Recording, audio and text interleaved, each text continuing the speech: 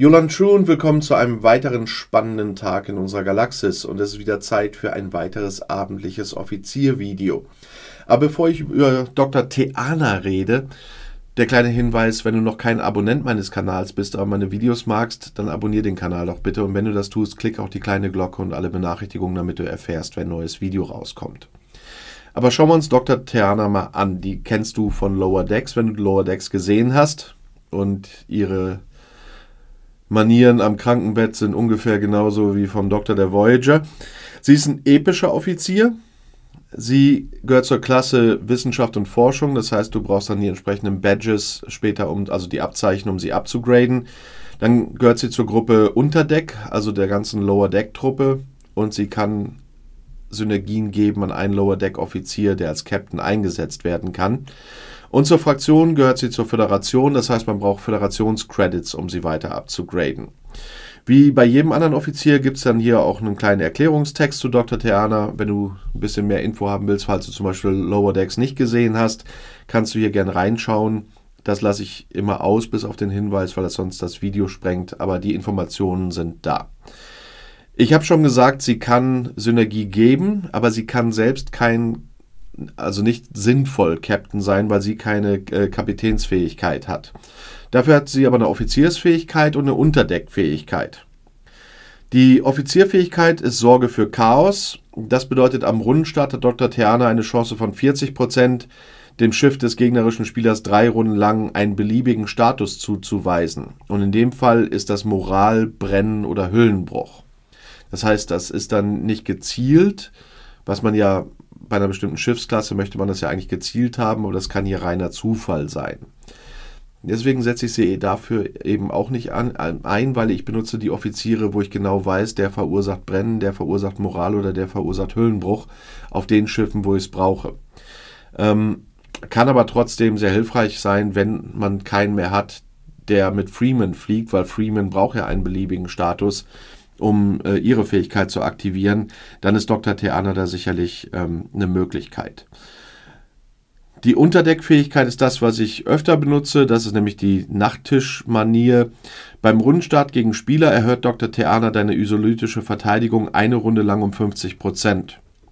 Eine Runde ist da nicht schlimm, weil sie macht es ja beim Rundenstart, also jede Runde.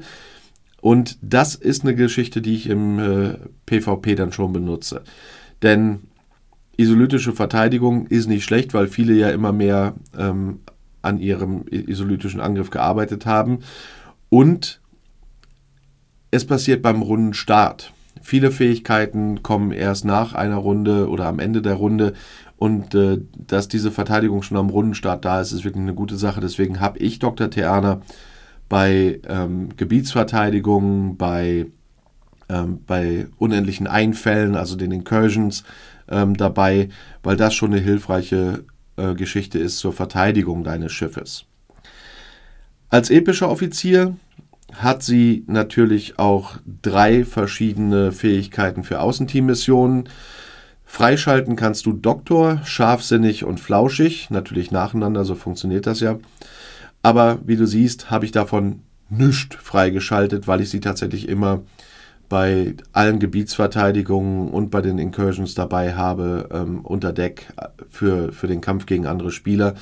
Und äh, deswegen werde ich sie garantiert nicht auf Außenteam-Missionen schicken im Moment und deswegen auch nichts freigeschaltet. Die, der Erzählbogen mit Lower Decks ist jetzt ein bisschen her und daher werden äh, einige tatsächlich fragen, ähm, wo bekomme ich Dr. Theana denn her?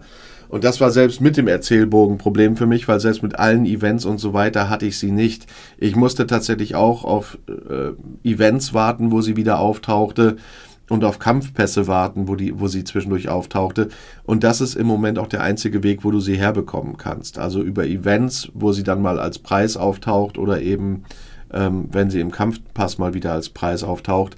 Das sind im Moment die einzigen Möglichkeiten, außer natürlich, wenn sie mal wieder im Scopely Shop zum Kaufen ist, wie du äh, an Dr. Theana rankommen kannst, nachdem der Erzählbogen vorbei ist. Das ist ja immer so, wenn so ein Erzählbogen war, dauert das eine ganze Weile, bis dann die Offiziere bei irgendeinem normalen Teil des Spiels auftauchen, wie wir jetzt die, die guten PvP-Crews haben, also die speziellen für, für Abfangjäger, für Forschungsschiffe und für, für Kampfschiffe, die sind jetzt mittlerweile im, ähm, in der, im Exborg-Fraktionsshop mit drin. Aber es hat auch eine ganze Weile gedauert, bis die mal irgendwo aufgetaucht sind.